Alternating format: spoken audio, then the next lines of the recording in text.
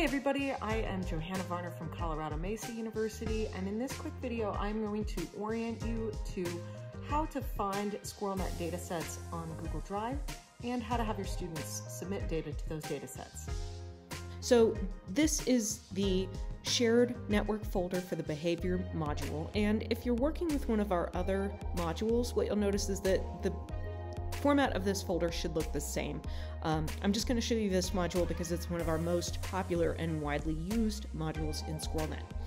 If you did not receive an email when you requested these materials, you may still be able to find these folders if you click on this Shared with Me button here in Google Drive. And this should show you um, take you to the folder of the modules that you requested in our request access form. Now, it should surprise nobody that the best place to start whenever you get into this folder is with the README first document. So if I click on that document, this will take me to the README first document, um, and there's a short welcome, some information here about how to handle others uh, or folks that may want to share data, um, and how to participate in our NSF funded assessments. We really encourage you to check that out, and places that you can get connected with SquirrelNet so you can connect your students to other students across the network. Now these highlighted links are where you're going to find the dataset and the data submission. We've tried to make this as easy as possible for you to find. This is a Google form here for your students to be able to upload their data to the national dataset. Here is a version of the dataset with the QR codes, and then here is a link to be able to download and view the national dataset of all student submissions. So as students submit their data here, they will automatically appear in the national dataset. Now, if you are working with students that are sort of still learning how to analyze and deal with data, we have also made available a cleaned copy of the national data set where we have deleted errant entries. Um, this includes some squirrels that were, for example, reported in the middle of the Atlantic Ocean. We are just assuming that that was a mistake with the GPS coordinate and that this was not a unique squirrel um, that was part of the Atlantis squirrel colony. Below this, what you're going to find is additional support materials. If there are YouTube videos that are available to support your module, you'll be able to find those. Um, other teaching materials and support, um, including the, the files associated with the original CourseSource publication, student instructions, and data sheets, and then some examples of how you might assess these materials in your class. Um, if you develop additional assessment materials or, uh, or, take photos of your students, we'd love to hear from you as well. There's a form here that you can use to submit um, either educational artifacts or media. Um, and again, we usually ask that you consider asking any pictured students to sign our media release form just to make sure that we have their permission. Finally, what you'll see here is we've got links to additional SquirrelNet modules, um, a link to that MOU that you agreed to when you requested these materials, and um, point people to ask for questions. So let me just show you what these things look like. You'll notice that we have made available to you as well a version of the data sheet with QR codes for students to submit their data.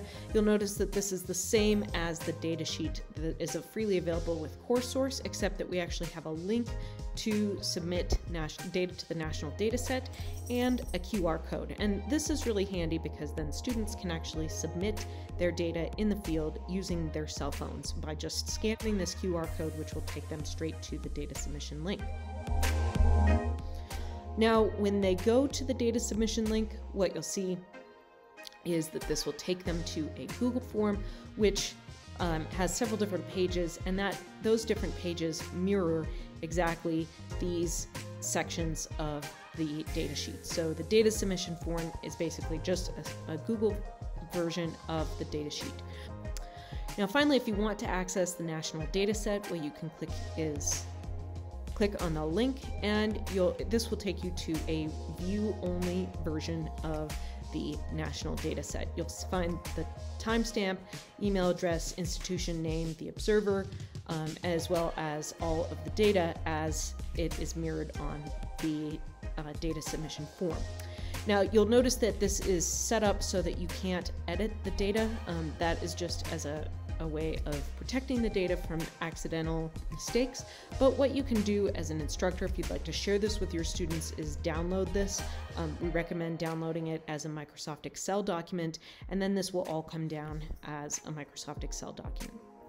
Once again, if you want to um, check out the cleaned version of the data set, you'll notice that some of those um, more personal information like name uh, and email address have been removed. This just has the institution name as well as um, data that don't have any kind of issues.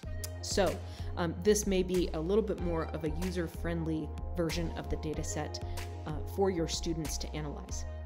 Lastly, I just wanted to sort of show you how I have put this all together in one of my courses. This is a um, ecology and evolution lab that I teach here at Colorado Mesa University, and this is what my D2L page looks like.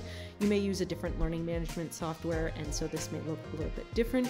Um, but this is a page that I have for um, students to go collect squirrel behavior data on their own from when classes were hybrid in 2020 and 2021. Um, what you'll notice is that I put together a link here to submit data. This link just takes students to the squirrel data submission form. And um, in addition, on that page, I also have some information about um, asking them to familiarize themselves with the protocol, which are published in our lab manual, information about uh, focal species and field sites that are here near our campus in Pine Junction, and um, a link to a data sheet um, and an opportunity to submit questions. I always include also a reminder not to submit any fake data just to see what the data submission form looks like and reminding them that this is the same as their spreadsheet.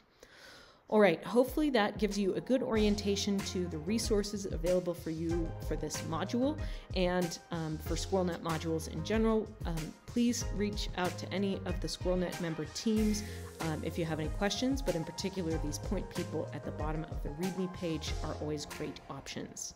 We look forward to seeing your data soon.